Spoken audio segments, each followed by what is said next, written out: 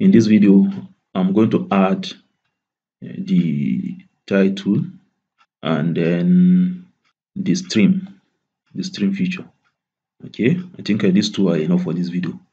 The scale, the area, I will add it in the next uh, video and then probably some of these uh, details.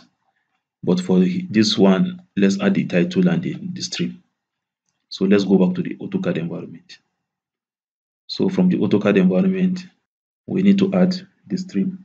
So the stream is actually somewhere along point P to P2 to P3. So if I check my array diagram, you can see that the stream is along point P2 to P3. And that is that is it here. So you can see we always refer to our array diagram when we're preparing the plan. So to do this, I'm going to use a particular command called sketch. So to enable the sketch command, you just type in sketch and then press enter. So when you press enter on the sketch command, you will see that the sketch is now enabled and then it's asking you to specify the sketch or type in increment or tolerance. So these are the settings.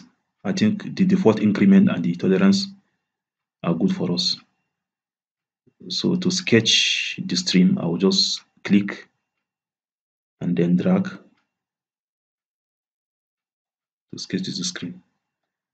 So also click and then drag. So this is just a rough sketch of how the screen, how the stream will look like. So if I'm done, I press enter to terminate the drawing. Then the next thing I need to fill in the interior to indicate that this is actually a stream. So I'll fill in with a pattern that will show that this is there is something actually inside. So the command used for that is called hatch. So hatch, type in hatch and then press enter. So with that, you can now specify pick the internal point of where you want to hatch. Undo, Control Z. Let me remove this borderline. I think that is the problem for the hatching. It is seeing it as the interior of what we wanted to hatch. Yeah, I think you can see. So this is the hatching, but this pattern is not good for a string. So I need to use a pattern that will look like a river. I think uh, there is a pattern called, I don't know the name of the pattern, but when you flip through, you should see the one that will match uh, that of a, a, stream or a river. I think uh, we can use this one that look like a swamp, a swamp, or just play around with with the patterns. Uh, this is another one called grass. I think that one too is okay. So play around with it and then choose the best one that fits your, your need. So when you are done, you click OK. Then one thing I would like to do is to remove remove the closing tip. We only needed it for the pattern, for the hatching. Because the hatching will not work if the place is not closed, if it's not a closed shape. Then I think uh, what I can do now is to highlight it, highlight everything and then change the color. We could have even used a different, uh, uh, what they call it, we could have used a different layer for this stream. But since the drawing is not a complicated one, so we decided to just use a single layer for the entire drawing. Well, later on I will show you how to change the layer in case if you're working on a very large drawing where you need to manage different layers differently, separately. So now with the stream selected, I can go to the property panel and then change the color. So maybe I'll change it to something like green or blue.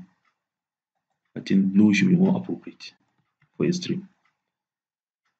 So I can go back, select all of this. So you can see the implication of not using a, a layer. If I didn't even use a layer, would have just gone to the layer to change the color. I affect all the elements or all the features in that layer.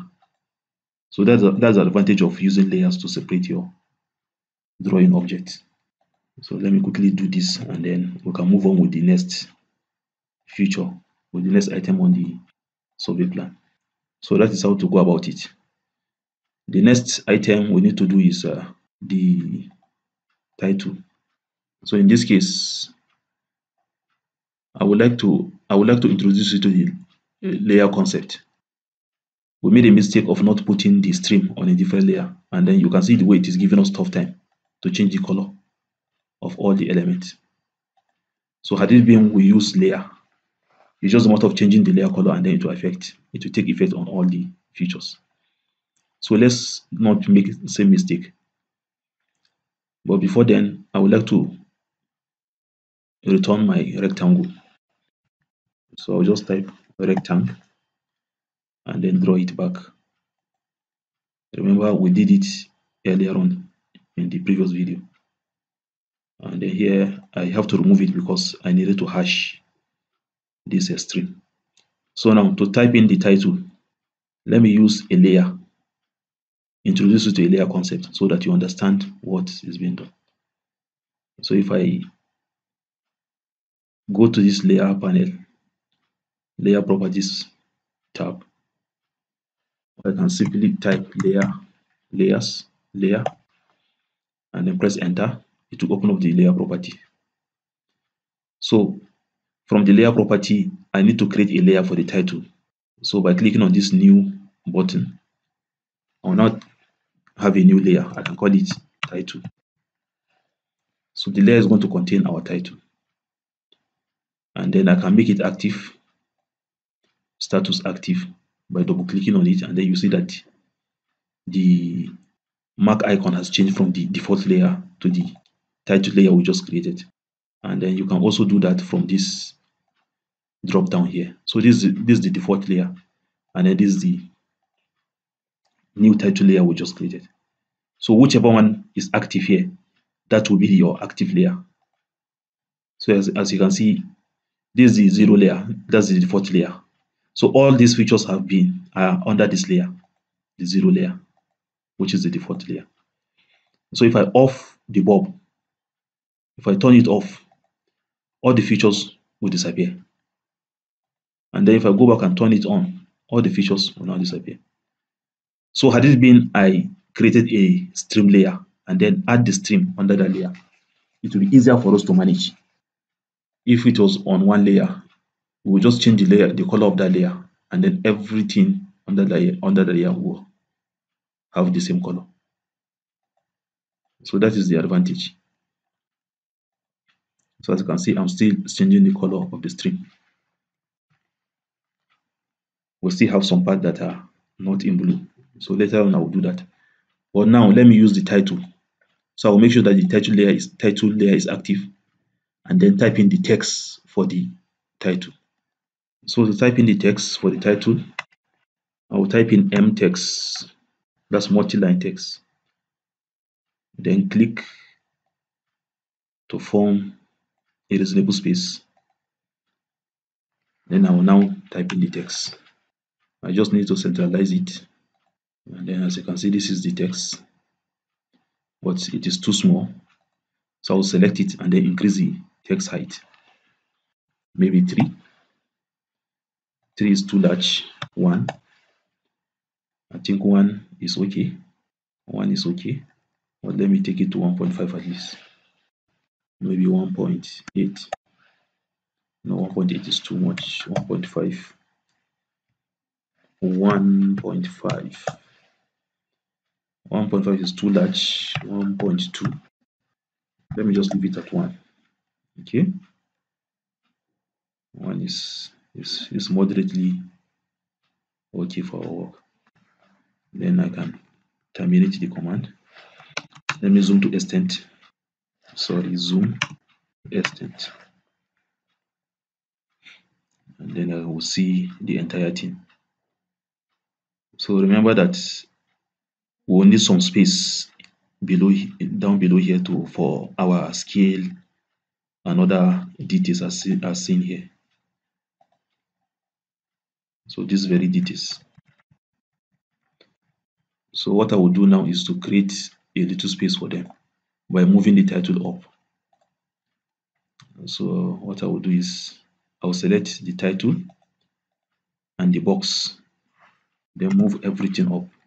So if I want everything to be moved perfectly horizontal, I will on this orthogonal mode. Then click here and then move up a little. Yeah, so I think uh, this space should be enough for, for us to have uh, this.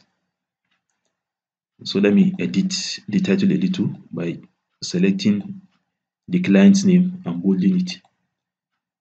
I can even increase the text for the client name. Maybe instead of 1, I will leave it on 1.5. Mm. So, so this is just a, a simple title. And then the the standard may not be what is obtainable in your area. So just ask your surveyor general or whatever, whoever is in charge of this kind of uh, information for the standard title. So here I'm moving my, I'm rearranging the title to fit in a little bit better. So you can see that the borderline is crossing. It's crossing the text. So what I can do is to, I can either explode the rectangle and then shift shift it a little, or I can delete it and redraw another one. So maybe I'll, I'll, I will just delete it, and then I'll make sure that I'm using the right uh, layer. Or let me actually create another layer for the border. So click on the layer properties and then and then just type in borderline. Borderline. Then I can close it. Then I can come here and then make sure that the borderline is the active layer. Then I can now draw my rectangle. Rectangle something like this. And then it should be somewhere here. I think uh, this position is okay. And I will zoom to extend then save my drawing. So the borderline is on a different layer. The title is on a different layer. So this helps us to manage them effectively. For example if I if I don't want to see these drawings the drawing is on default layer so I can off the default layer and then all of them they will hide. If I on it back, if I don't want to see the title, I can just off the title layer and then you can see that the title is gone. It's not deleted, but it is hidden. So if you're working on a very large drawing, a complex drawing, it is actually a nice idea to make sure that all your features are on different layer it makes it easier to manage the drawing. You can even off the current layer, but you receive this kind of warning. So make sure that this is just a warning to let, let you know that the current layer is off. And then by the time you draw an object with the current layer off, you will see it. You have to on it back. So that is the concept of uh, layering and then it's a good practice to actually have different part of the drawing on different layer. So this is i think uh, that is it for this uh, drawing for this uh, video. In the next one we'll continue with the other features. See you then